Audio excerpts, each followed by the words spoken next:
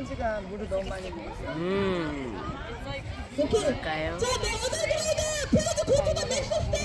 신기한 거다. 응. 와, 잘. 이거 뭐야 근데? 뭐? 뭔지 모르겠는데.